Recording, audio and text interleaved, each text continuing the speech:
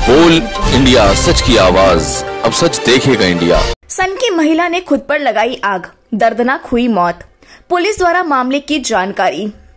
जुन्नर देव police अनुविभाग के अंतर्गत police थाना दमोह थाना प्रभारी उमेश मार्को ने जानकारी देते हुए बताया है कि ग्राम पंचायत राखी कोल में एक महिला द्वारा अपने ही ऊपर आग लगाकर आत्महत्या कर ली है। मिली प्राथमिक जानकारी के अनुसार घर में बेटी द्वारा ध्यान नहीं रखे जाने की बात पर महिला ने खुद को आग लगा दी जिससे महिला की दर्दनाक मौत हुई है।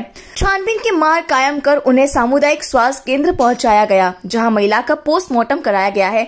मृतक महिला सुखवती कुमरे उम्र 55 साल निवासी राखी कोल थाना प्रभारी द्वारा मामले की जाँच की जा रही है। पुलिस को सूचना मिलते ही एस के, के अवस्थी थाना प्रभारी उमेश मार्को घटना स्थल राखी कौल मृतक महिला के घर पहुँचे। बोल इंडिया न्यूज़ जुन्नदेव से मोहम्मद मुजम्मिल की रिपोर्ट।